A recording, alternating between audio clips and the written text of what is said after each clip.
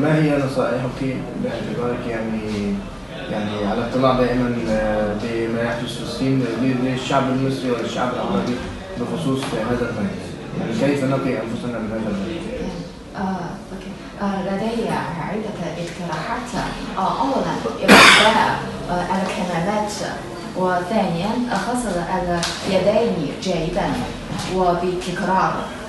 ثالثا تغطية الفم والأنف عندما آه، السعال والعطس نعم آه، ثم تجنب الأكل في المطاعم والأماكن آه، المزدحمة نعم. وأسواق أيضا وتحيي اللحم والبيض جيدا وتجنب الذهاب للأسواق التي تبيع الحيوانات واللحوم حية نعم هكذا أو ذات احتكاك قريب بمكان معيشتها وأيضا تجنب الاتصال الوثيق مع الحيوانات البرية أو الحيوانات الحية وتجنب الاتصال الوثيق مع مرضى الجهاز التنفسي. نعم.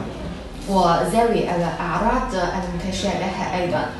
وثم في حالة ظهور أعراض حمى وارتفاع درجة الحرارة. نعم. ف وصعوبة في التنفس فيجب الإسعار في طلب الرعاية الصحية. نعم.